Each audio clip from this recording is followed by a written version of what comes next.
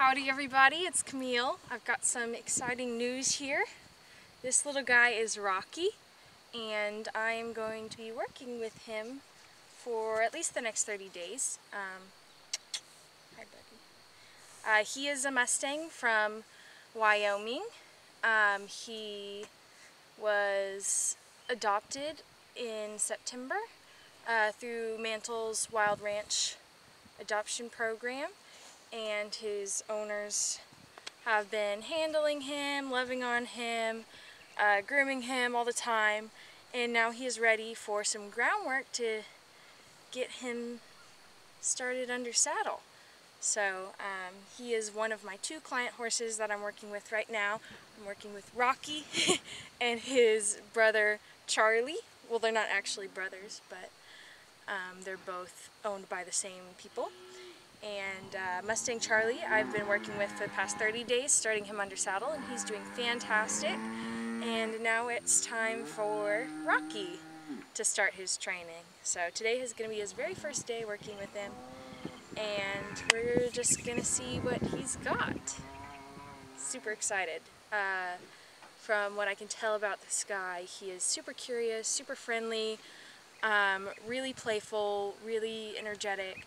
So I'm thinking he'll be a really fun one to work with. Hey buddy, ready to get to work?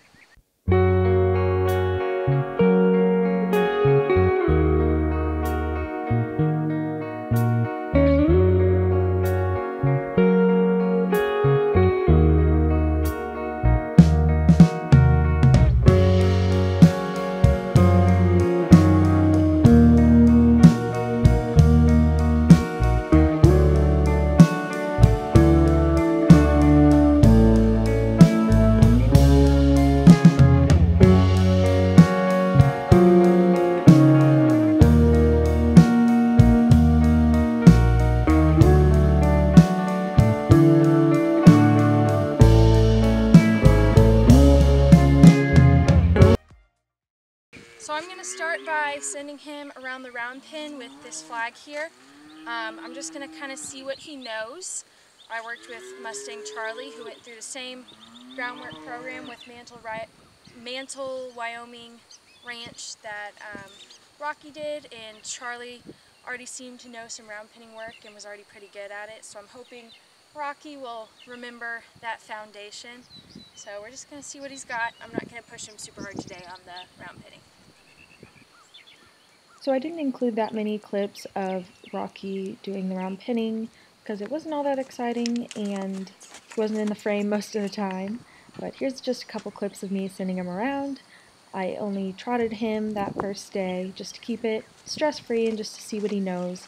If he stopped before I asked him to, I just got him going again with the flag and then I relax once he's moving out at the trot again.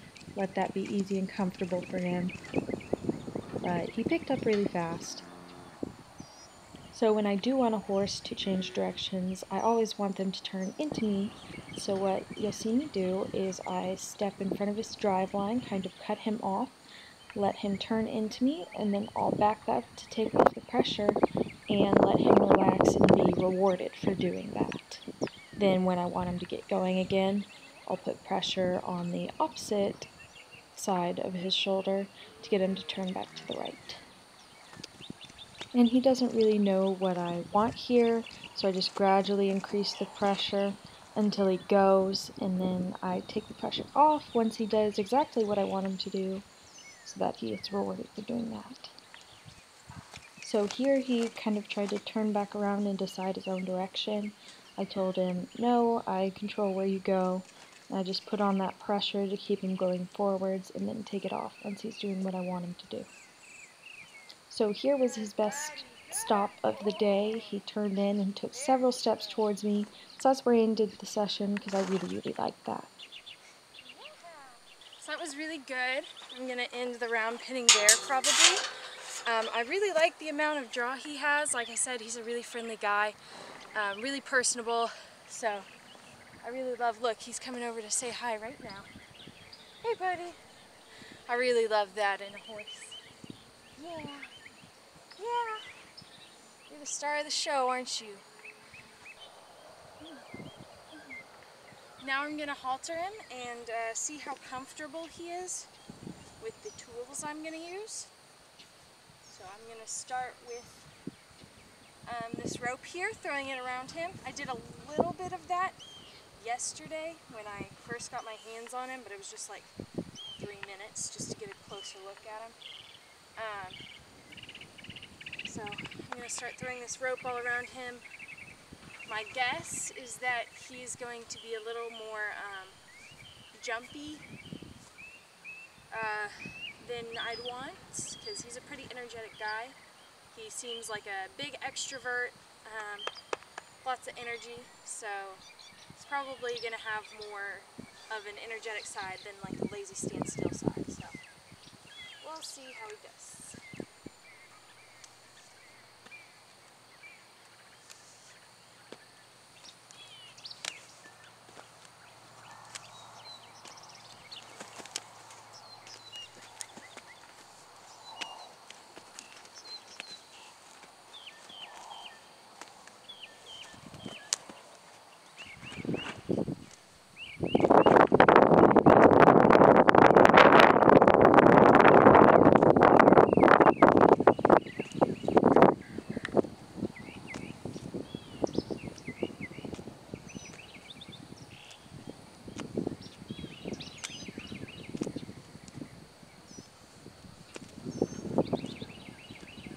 So he's still a little bit flinchy, even though he's standing still, which is good.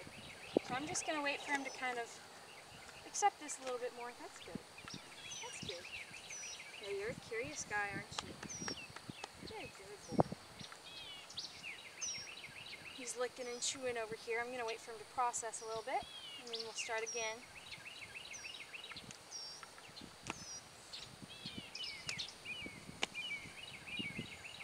So like I said, Rocky and his brother Charlie, they've been um, handled pretty frequently since they were adopted last year in September, but they haven't really been challenged or pushed outside of their comfort zone.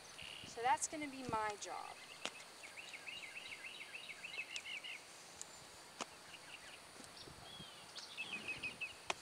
I really like both of them. This guy's a little more of the quarter horse type, think he definitely has some quarter horse blood in him. Whereas Mustang Charlie's a little more of the draft type. And Mustang Charlie has been super duper fun to work with. Um, he's a really chill dude. He's a really chill dude. Super easygoing.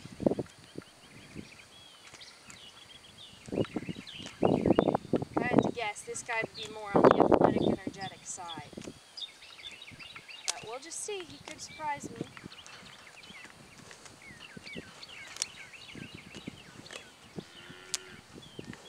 He doesn't like that leather tassel popping him. It makes a little bit of a noise. It's not hurting him or anything, but it makes a little bit of a noise. So I'm just going to keep doing that until he realizes it's not so bad. And where I'm standing is very important. I'm standing close to his shoulder so that he can't get me with his back legs. And if he were able to strike out or run forwards, he wouldn't run right over the top of me. So this is pretty much the safest spot to stand right here.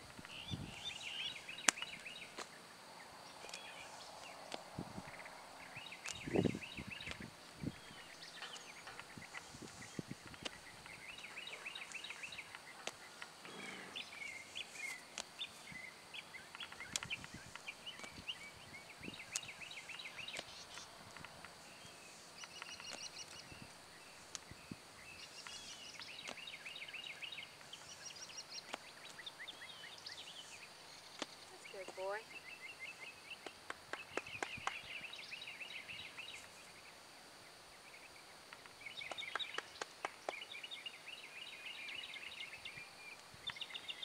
Another thing I might begin to teach him in between throwing the rope over him as a way to help him relax is to yield that pull. So once he gives a little bit, I'm going to let go of this pressure.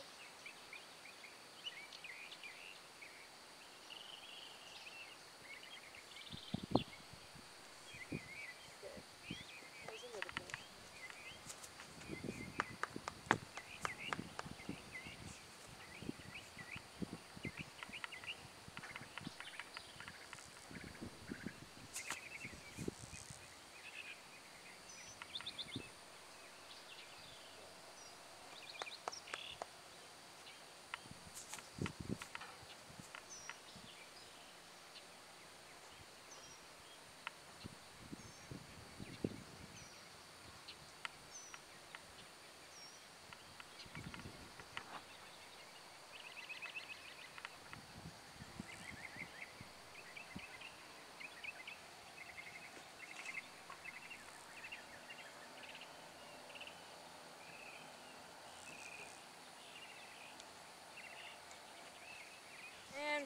This rope. I'll probably do this a few more times on this side and move on to the other side, depending on how he does with this around his legs. He's flinched a few times, but he seems mostly okay with it. Well, he'll get okay with it. I don't think he's gonna kick out at it or anything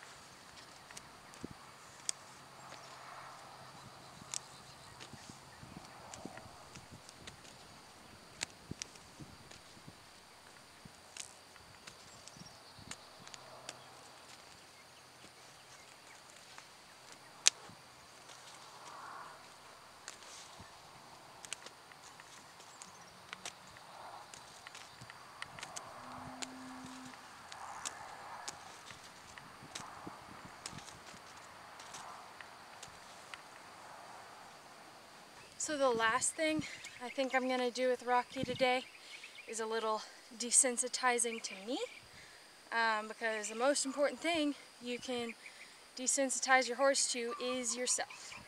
A lot of domestic horses are already desensitized to people from like the minute they're born. They've had people imprint on them, um, touch them all over, maybe even start introducing halters to them at a very young age.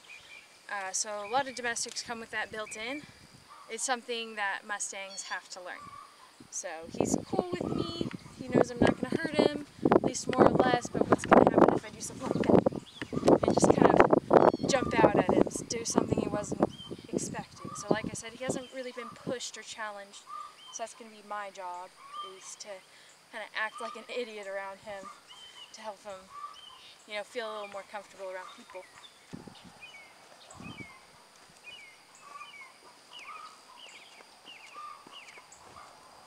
So Mustang Rocky is actually doing a lot better at this than Mustang Charlie did. Um, he's only a little bit nervous. He kind of, in his head, knows I'm not going to hurt him. But when I act suddenly, he kind of gets nervous, like, oh, what are you trying to do to me? But after a little bit of me doing this, you can see he starts to calm down and realize I'm not out to get him.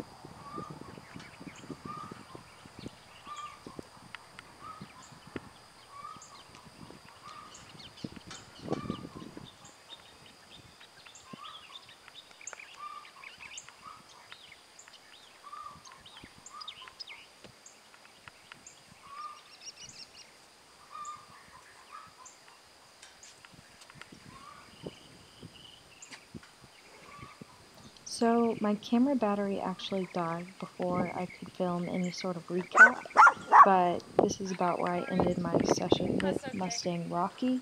I always like to end on some sort of desensitizing or something that's hard for them, because if it's the last thing you do before you quit and they get to go back to hang out with their buddies, it kind of becomes something that they look forward to next time.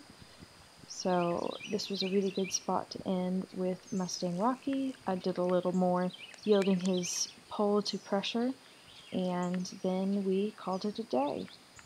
So that was a really successful first day with Mustang Rocky. If you liked this video, be sure to give it a like and subscribe to my channel for more videos of Mustang Rocky.